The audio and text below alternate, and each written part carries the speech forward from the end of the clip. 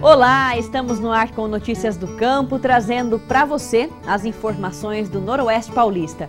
E nesta edição temos um belo exemplo. Em Fernandópolis, uma mãe conseguiu montar um centro de ecoterapia para atender de graça crianças que tenham paralisia cerebral. E ainda na receita da semana, o prato é bem conhecido e delicioso. Você que gosta de chocolate, mas não pode comer algumas guloseimas por conta da lactose, a nossa dica especial para você. Vamos ensinar brigadeirão sem lactose. Tem música também no Toca Viola, nós conhecemos uma dupla aqui da região, Pascoal e Capim. Porque seu ex agora não quer ser mais ex. É agora no Notícias do Campo.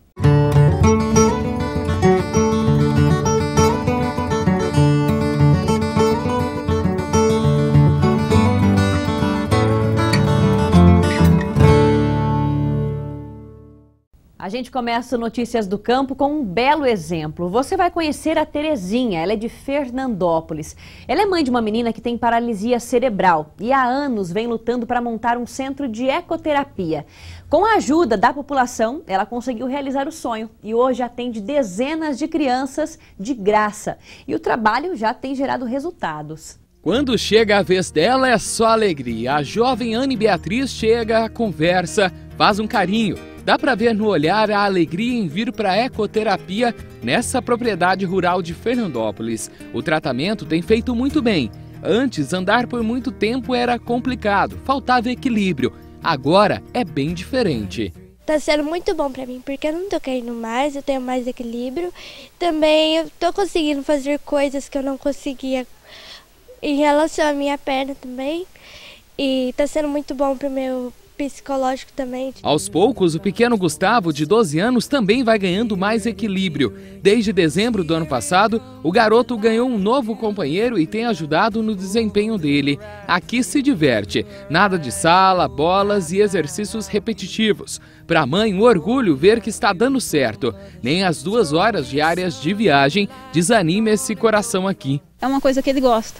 Não é aquela fisioterapia convencional que põe em cima de uma, de uma maca e faz a fisioterapia. E sim num cavalo que ele vem, que ele adora. Além da Ana e Beatriz e do Gustavo, outras 20 crianças participam da ecoterapia, sem pagar nada por isso. Uma iniciativa da Terezinha. O projeto Sou Alguém começou a ser desenvolvido há um ano e meio, mas apenas em dezembro a Terezinha conseguiu colocar a ideia em prática e realizar um sonho antigo surgiu através da Rafaela, que é uma criança né, deficiente que eu tenho, que adotei. E eu encontrei muita dificuldade em Fernandópolis para o tratamento e foi aonde que eu cerrei o punho e falei, vou montar e vou lutar né, por todas as crianças de Fernandópolis. Hoje eu resgato as crianças dentro das casas que precisam de tratamento, trago para cá, a gente faz avaliação com ajuda médica, os médicos avaliam, tá, pode é, fazer a ecoterapia, então a gente traz e já começa a fazer a ecoterapia. Nós temos crianças aqui com três, quatro sessões já estão tendo resultado. O projeto permite que as mães e as próprias crianças tenham mais expectativa no tratamento. Isso porque a ecoterapia causa diversos benefícios. O cavalo, a gente chama ele, ele é o fisioterapeuta, através dos movimentos tridimensional que ele faz, aí juntando com outros estímulos que a gente ajuda o paciente, ele vai tendo melhora do tônus, equilíbrio, coordenação motora, igual para o, o Henrique, ajuda na marcha dele, na força muscular, que é o que ele vai perdendo com o dia a dia. Então, todo o tratamento é o cavalo que faz. As pessoas olham ele andando assim, ah, mas o que, que o cavalo faz? Mas ele tem todo aquele movimento para frente, para trás, para o lado, rodando o quadril. E isso sim, leva o estímulo lá na, no central deles, que estimula toda a musculatura, que sustenta todo o tronco e o corpo. Isso vai dando alongamento, força, para que ele se mantenha sustentado. E para manter toda essa estrutura são necessários três funcionários, além dos cuidados com os animais. Para isso, a Terezinha conta com a ajuda de entidades, como a representada pelo seu Moacir.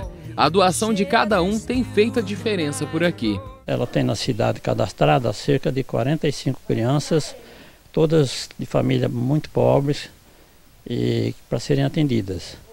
Ela, por enquanto, conseguiu formar apenas uma equipe. É, está atendendo cerca de 21 a 22 crianças e precisa urgente formar outra equipe, né? Só que a despesa é grande porque ela trabalha com uma fisioterapeuta, uma psicóloga, mais um guia do animal. E esse pessoal são assalariados, né? evidentemente que são profissionais. Então ela depende de mais recursos para montar uma outra equipe. E a gente depende muito da ajuda. Aqui é totalmente, né, assim, gratuito. Ninguém, nenhum pai coloca nada do bolso. Só tem o trabalho de trazer para nós. Hoje nós temos uma dificuldade muito grande, porque a família que nós atendemos aqui, a população, são totalmente carentes. Então, a carência deles assim, é o transporte. Entanto, eu estou lutando né, aí com a prefeitura que venha nos ajudar no transporte para eles. Não peço nada, estou pedindo simplesmente o transporte para ajudar. Para as mães, essa iniciativa não ajuda a melhorar apenas as crianças, mas também elas, que tanto lutam para dar qualidade de vida para esses pequenos. É uma maravilha, não tem como dizer assim, é uma coisa que foi uma, eu falo que foi Deus que colocou, que fez isso acontecer, porque do jeito que ela era agora, o jeito que ela tá, nossa, é uma maravilha. É muito bom, né, pra gente que não tem condições ter surgido esse projeto que fica mais fácil para conseguir resultado para melhorar o nosso filho. Graças a Deus existe o projeto gratuito aí pra gente. É, assim, é inspirador para ele. A gente tem uma esperança muito grande nesse projeto. Cada mãe que chega para mim e fala: "Hoje meu filho sentou", é uma emoção porque eu não imaginava o quanto eu ia poder ajudar e o quanto eu posso estar ajudando. Com tão pouco, né?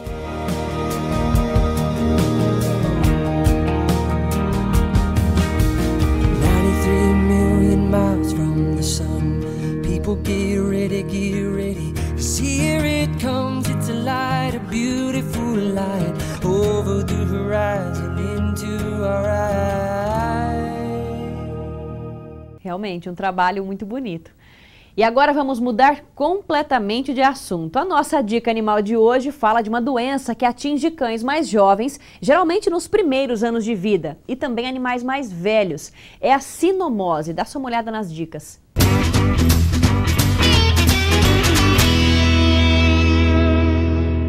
É um vírus transmitido através de secreção ocular, secreção nasal e através do ar também. O animal contaminado ele pode disseminar por várias casas, por vários lugares, para outros animais durante até o período de dois anos. É, os sintomas da sinomose podem ser variáveis, porque ela ataca tanto o sistema respiratório como o sistema neurológico do animal, gastrointestinal. Então é comum a gente ver remelamento nos olhos, vermelhidão em volta desses olhos, a pupila dilatada, tremores musculares, tosse, espirro, Muitas vezes também até algumas lesões de pele, que são raras, mas acontecem também devido à sinomose. Outros sintomas também são diarreias e vômitos, vômitos escuros, diarreias escuras.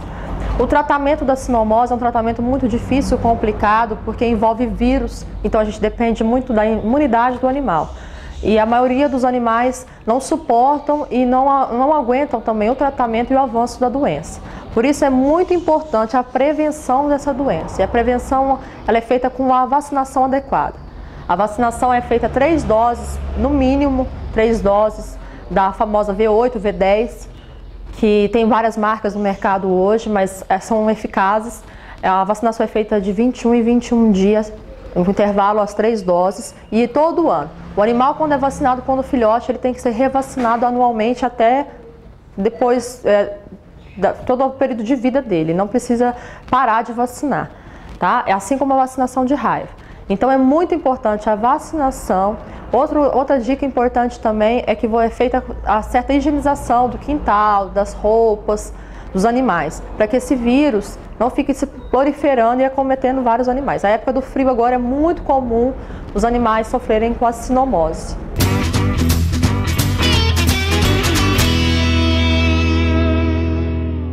E se você tem alguma dúvida ou sugestão de reportagem, pode encaminhar para a gente. O nosso e-mail é o noticiasdocampo@tvunifev.com.br. O endereço daqui é a Rua Pernambuco 4196 e o CEP 15500 E agora é hora de música aqui no Notícias do Campo. No quadro Toca Viola de hoje, você vai conhecer a dupla Pascoal e Capim. Música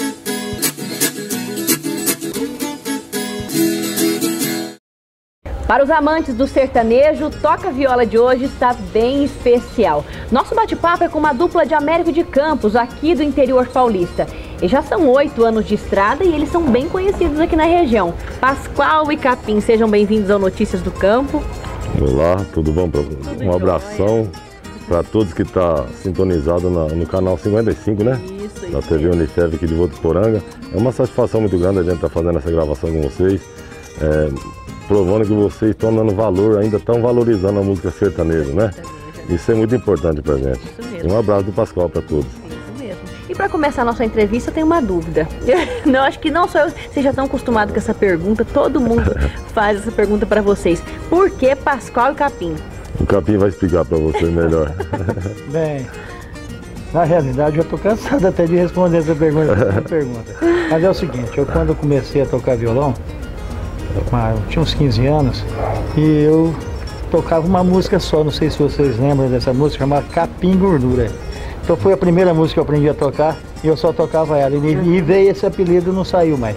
Aí ficou capim gordura. Eu não mudei porque na região toda, né, a gente eu trabalhei, já ganhei um monte de festival, essas coisas, então o pessoal me conhece por capim. Uhum. Mas o meu nome é Ayrton e ninguém sabe quem é. Se falar outro nome, ninguém sabe. ninguém né? sabe. E como que vocês se conheceram? A gente é da mesma cidade. Aham. Uhum. E aí vocês foram. É, é, é uma dupla antiga, ele, ele, na época ele também ele gostava muito de música, né? Uhum. Começou a ver a gente cantar e virou meu fã. Uhum. É que eu sou mais velho que ele. E bem mais velho. Aí, o que, que aconteceu? Ele foi embora para Americana, ficou lá um certo tempo, não sei, uns 20, 20 anos. 20 anos, fiquei lá. E na volta ele já começou a cantar com o pessoal. Tive outra dupla lá também. Uhum. Né? Aí na volta a gente juntou. Faz um... Eu voltei, ele estava aí sozinho, abandonado, e eu também estava vindo abandonado de lá para cá, e a gente acabou juntando. Separaram. Aí nós ficamos noivos e casou, até hoje. Beleza. E as músicas que vocês tocam? Vocês têm bastante referências, né? Vocês ah, tocam tem. bastante alguns cantores famosos também, né? É, na realidade, porque uh, quem canta o sertanejo, não é, não, vamos cantar só sertanejo, tem que cantar de tudo, porque cada show é um estilo, entendeu? Cada lugar que a gente vai cantar, a gente tem que estar sempre mudando o repertório, porque um pede uma música, outro pede outra, um pede um estilo, outro pede outro. Então a gente tem que cantar quase tudo. Então por isso a gente, mas a gente se inspira mais em cantar música Felipe Falcão, Tião Carreiro, tem o Zé Paulo, Mato Grosso Matias.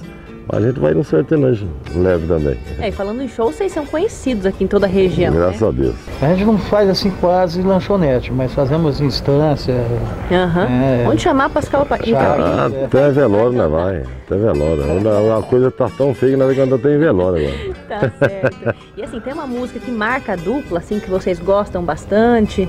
Ah, tem sim, né? Tem, tem várias, não é só uma, mas tem uma que a gente gosta sempre de cantar e o povo tá gostando por demais é o ponto G do Felipe Falcão. Ah, essa é bem conhecida. Bem conhecida. Durante os shows vocês fazem mais músicas interpretadas, é isso? É isso, é. Isso, eu, a gente, na verdade, a gente toca, que ele falou de tudo. É, quem às vezes quer, quer, contratar a gente, a gente chega e fala, você quer que tipo de música? É. Porque a gente toca, to, toca MPB, toca samba, toca nos 60, toca tudo, entendeu? Uhum. Então, a gente chega, oh, que jeito você quer? A gente faz um mesclado. É, né? principalmente casamento. A, a, a, maioria das festas de casamento sempre tem um boêmio lá no meio.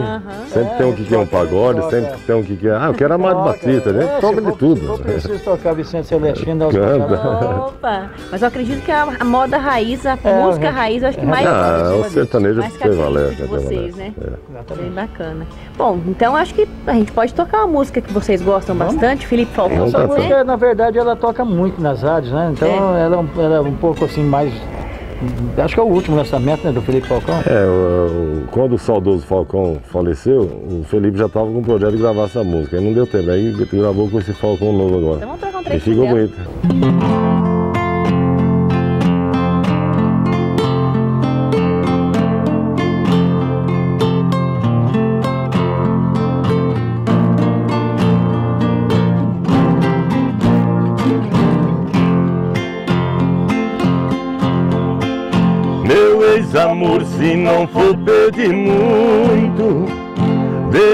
Outra chance pela última vez. Ouça os apelos de quem canta e chora, porque seu ex agora não quer ser mais ex. Passe comigo um final de semana em uma cabana presa meus abraços. E até duvido que segunda-feira você ainda queira dormir noutros braços. E até duvido que segunda-feira você ainda queira dormir noutros braços.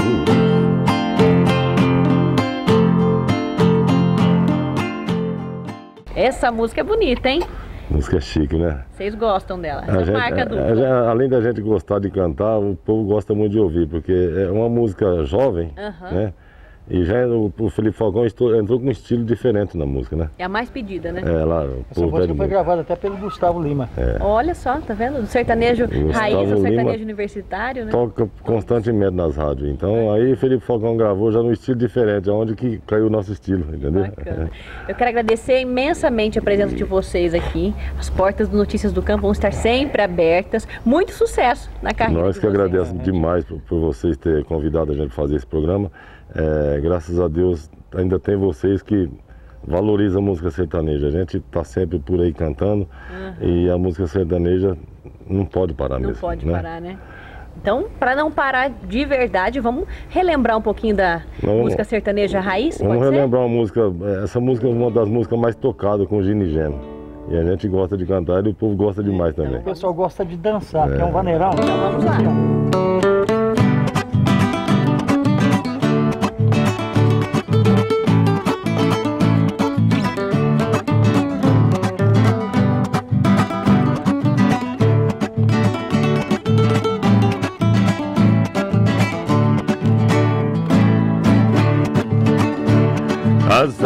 São Francisco estavam por cima da ponte. Esse é o grande motivo que eu não pude atravessar. Mas isso eu achei foi bom, fui obrigado a voltar na casa do meu amor. Passei a noite por lá. Fiquei a noite inteirinha ao lado da moreninha esperando as águas baixar. Enquanto as águas baixavam, eu tomava café quente, muitos beijos e abraços, aumentava o amor da gente. E eu pedindo a São Pedro que aumentasse a enchente. São Pedro, eu estou gostando. As águas podem aumentando e meu amor fica contente.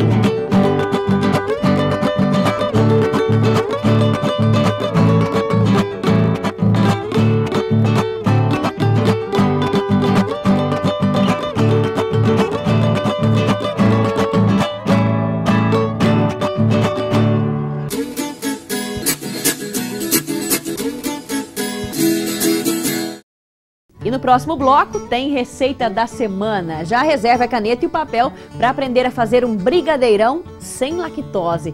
Tem a seguir também uma dica de planta que hoje traz algumas curiosidades sobre a goiabeira. É já já, não saia daí.